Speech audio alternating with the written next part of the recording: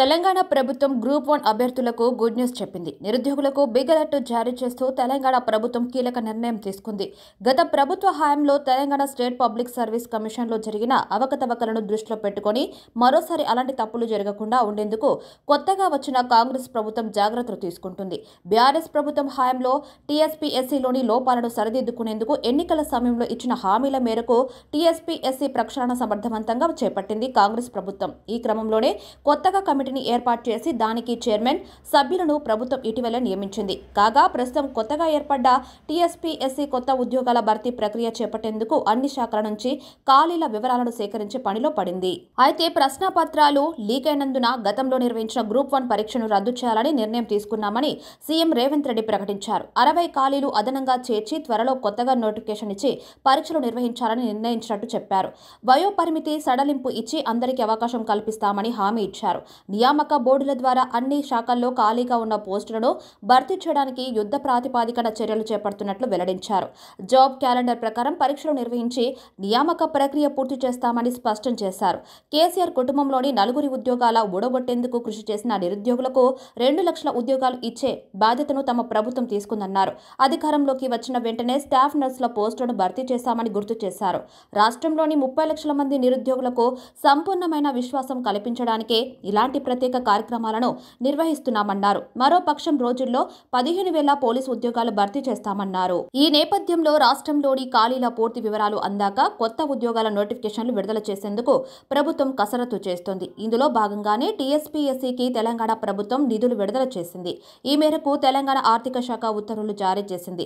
Budget కేటాయింపుల నుంచి నలభై కోట్ల రూపాయల నిధులు టీఎస్పీఎస్సీకి కేటాయిస్తున్నట్లు వెల్లడించింది. ఈ నిధులు టీఎస్పీఎస్సీ అవసరాలతో పాటు కొత్త ఉద్యోగాల భర్తీకి సహకారం కానున్నాయి. నిధులు ఇవ్వాలని టీఎస్పీఎస్సీ గత కొంత కాలంగా ప్రభుత్వాన్ని కోరుతున్నా సంస్థ పూర్తి ప్రక్షాళన అనంతరం నిధులు విడుదల చేయాలని భావించి ప్రక్షాళన అనంతరం నిధులను విడుదల చేసింది ప్రభుత్వం. గత ప్రభుత్వం హయాంలో టీఎస్పీఎస్సీలో జరిగిన అవకతవకల వల్ల నిరుద్యోగులు తీవ్ర నిరాశకు గురై ఆ ప్రభుత్వాన్ని గద్దె దింపడంలో కీలక పాత్ర పోషించారు. కాంగ్రెస్ ప్రభుత్వం హయాంలో మళ్ళీ ఆ పొరపాట్లు జరగకుండా నిరుద్యోగులకు తమ ప్రభుత్వంపై నమ్మకం కుదిరేలా కొత్త ఉద్యోగుల భర్తీకి అంతా సిద్ధం చేయాలని టీఎస్పీఎస్సీని ఆదేశించింది అది కూడా లోక్సభ ఎన్నికల నోటిఫికేషన్ వెలువడే లోపే జరగాలని సూచించినట్లు సమాచారం. ఇదిలా ఉంటే గతంలో రద్దయిన గ్రూప్ వన్ నోటిఫికేషన్ కొత్తగా చేర్చిన అరవై పోస్టులతో కలిపి రీ నోటిఫికేషన్ విడుదలయ్యే అవకాశం ఉంది. దీంతో పాటు గత ప్రభుత్వం హయాంలో వెలువడిన group two group three notification కూడా రద్దు చేసి వాటికి కొన్ని కొత్త పోస్టులు కలిపి రీ నోటిఫికేషన్ విడుదల చేసే యోచనలో టీఎస్పీఎస్సీ ఉన్నట్లు తెలుస్తుంది.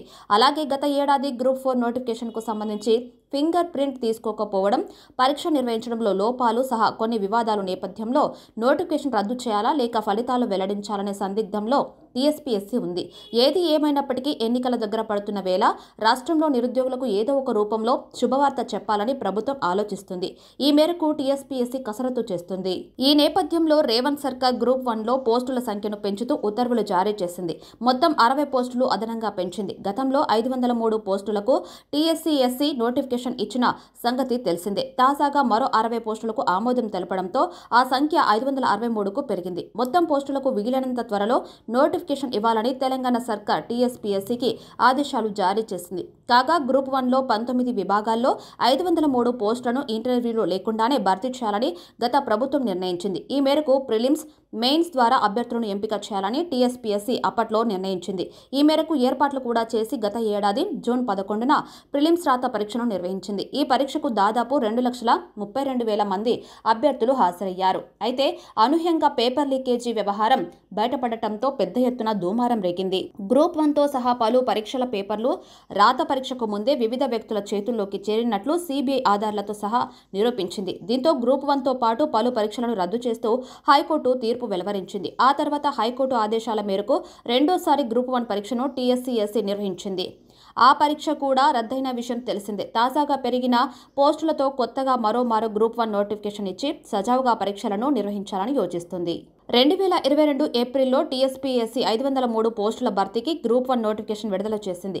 ఈ పోస్టులకు మూడు లక్షల యాభై వేల మంది దరఖాస్తు చేసుకోగా రెండు వేల ఇరవై రెండు అక్టోబర్లో గ్రూప్ వన్ ప్రిలిమ్స్ పరీక్ష నిర్వహించారు.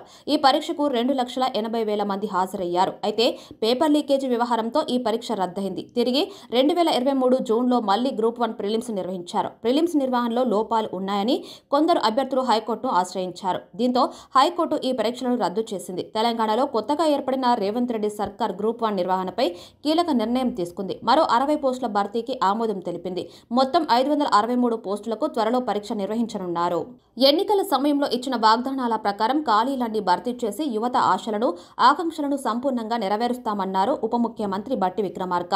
గత ప్రభుత్వం సింగరేణిలో భావోద్వేగాలను రెచ్చగొట్టి రాజకీయ అవసరాలకు మాత్రమే కార్మికులను వాడుకుందని ఆరోపించారు. బీఆర్ఎస్ ప్రభుత్వం కొనసాగి ఉంటే సింగరేణిలో ఉద్యోగాల సంఖ్యను నలభై రెండు వేల నుంచి ఐదు వేల మందికి కుదించేదని ప్రస్తుతం ఆ ప్రమాదం లేదని తెలిపారు. ఈ ప్రాంతంలో ఉన్న గనులన్నీ సింగరేణికే చెందేలా కేంద్రంతో మాట్లాడతామని హామీ ఇచ్చారు. సింగరేణి నుంచి కొనుగోలు చేసిన బొగ్గుకు సొమ్ములు చెల్లించకుండా సంస్థ కాయిలా పడే పరిస్థితిని కేసీఆర్ ప్రభుత్వం కల్పించింది.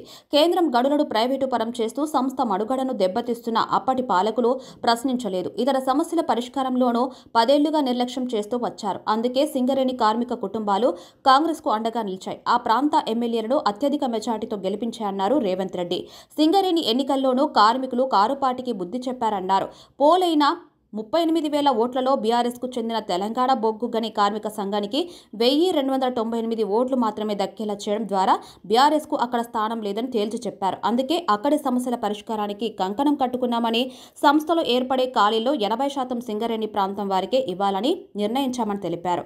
ఖాళీల భర్తీకి అవసరమైన చర్యలు తీసుకున్నామని సంస్థ పరిధిలోని ఉద్యోగాల భర్తీలో వయో పరిమితిని సడలించాలని సింగరేణి సీఎండీకి సూచించామన్నారు. గుర్తింపు పొందిన కార్మిక సంఘాలతో సమావేశం ఏర్పాటు చేసి ఆ ప్రాంతంలో సమస్యలని పరిష్కరిస్తామని సీఎం రేవంత్ రెడ్డి భరోసా ఇచ్చారు.